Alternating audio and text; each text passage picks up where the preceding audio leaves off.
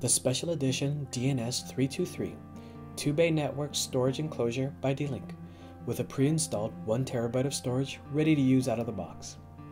On top of the box is a diagram on adding a second hard drive, but we'll cover this and using a RAID configuration in another video. On the back is a networking overview. On the side is a list of package contents and system requirements. Be sure your system meets the minimum requirements to use the DNS 323. Alright, let's open the box. Please read. If you do not plan to install an additional hard drive, please skip steps 1 through 4 of the hardware installation section of the quick installation guide and start with step 5. Pull the DNS 323 out of its packaging.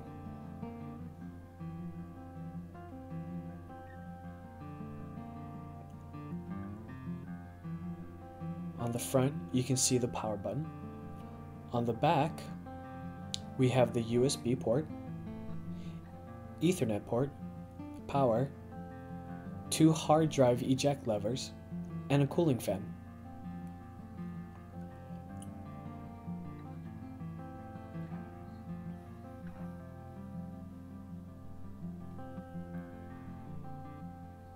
Also included is the CD-ROM, manual, quick install guide, and warranty information.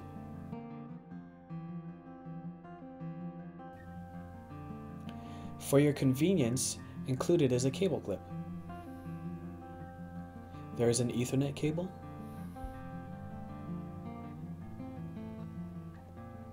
power adapter,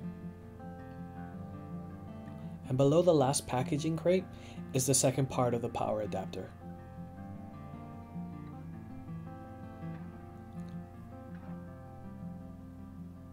Okay, let's connect the DNS323 to your network.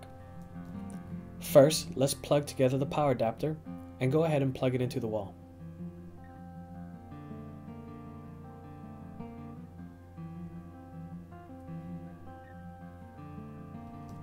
Plug in the provided Ethernet cable into the back of your router and plug the other end to the back of the DNS 323. Also, plug in the power adapter.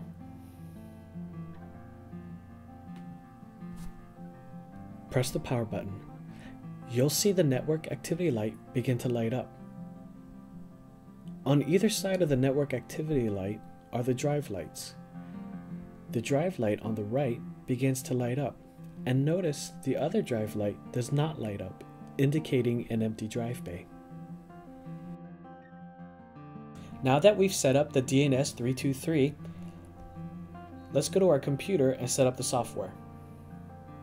Insert the CD that came with the DNS323 into your computer.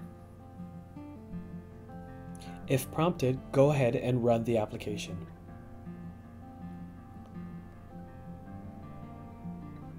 When the D-Link 2-bay network storage enclosure window comes up, select the Easy Search utility. The application will automatically find your new drive on your network. Here, you can also click the configuration button to change the device configuration.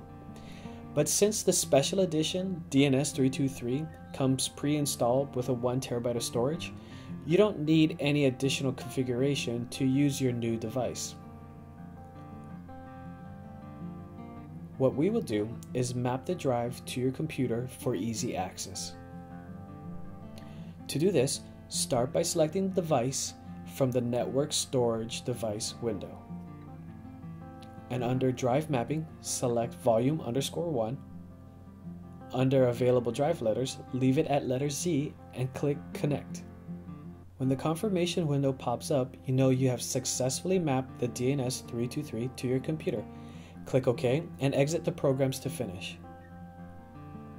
To access the drive, simply go to the Windows Start button click on Computer or My Computer depending on your version of Windows, and double click the newly created drive from the list.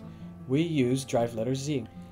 As you can see, the drive is empty, but you can drag and drop any files onto the drive and they will be available here as a backup. We will back up the photo Chrysanthemum by dragging the photo from my photo library folder to the DNS323 on the Z drive. As you can see, the photo is now in both locations. It's as simple as that.